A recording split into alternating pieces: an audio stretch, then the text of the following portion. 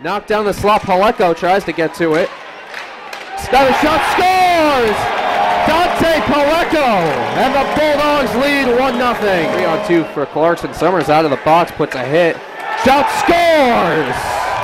Shots too at the 13 minute mark of the period. 15 to 15. Cedric he scores! Sheldon Rempal takes a pass on the far post and buries it. Both seniors, both NHL draft picks, the only two on this Clarkson roster tonight. Summers, an Ottawa draft pick, and Amorosa, a Flyers draft pick.